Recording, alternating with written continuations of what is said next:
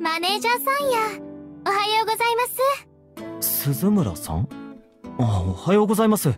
なんでここに？今日ってレッスンはお休みですよね。せやなでもそれを言うなら、マネージャーさんも同じですよ。ああ、ひょっとしてですけど、星見プロのレッスン日を間違えたとか？いえ、実はうちの子がスタジオに忘れ物をしたので探しに来たんです。マネージャーさんが探しに？ずいぶん優しいんやね。何を忘れはったんですか？黄色いネズミのぬいぐるみです。今アニメが放送されてるらしいけど、知ってますか？うーん。うちは知らんなアニメとか詳しくないんですよね。まあ、そうですよね。鈴村さんはアニメとか見るようなタイプじゃなさそうですし。んならうちってどんなタイプに見えてるんです？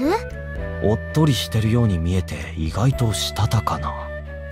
そんなこと面と向かって言えるわけがない。その様子から察するにおっとりしてるように見えて意外としたたかな性格とか思ってます？えいやそうじゃなくてえー、っとじゃなくて何です？まさか答えられへんこと考えてはるんですか？いやそんなことは。それより鈴村さんは今日はどうしてここに？マネージャーさんは正直者やな。話をそらそうとしているのが丸分かりですよ。まあまりいじめるのもなんですし今日はこれくらいにしておきましょう。た助かります。それで鈴村さんは忘れ物とか？うちが忘れ物をねうんうん。それで？えー、っと忘れ物はダンスシューズとかかな。ああ惜しいですね。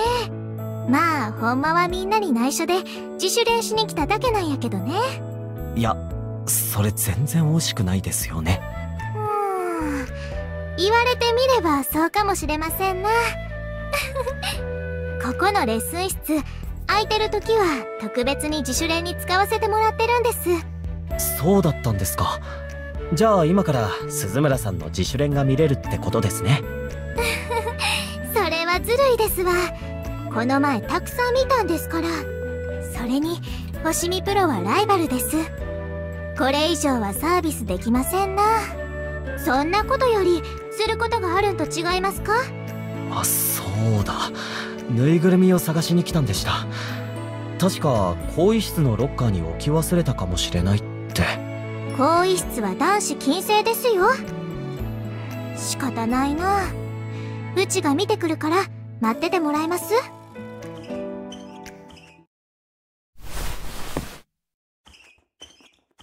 お待たせしました。黄色いネズミのぬいぐるみってこれのことですか？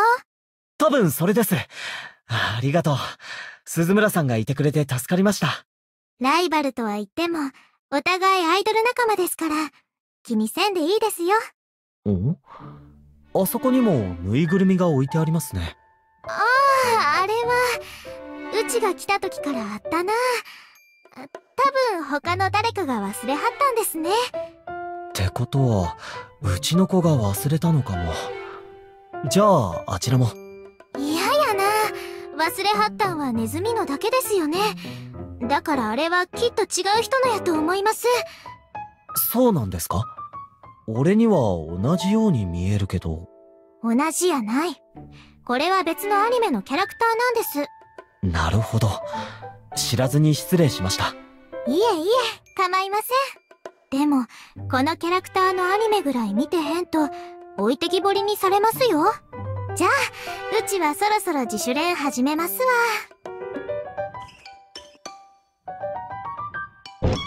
そういえば、アニメに詳しくないって言ってたよな。なぜあのぬいぐるみが別だって分かったんだ？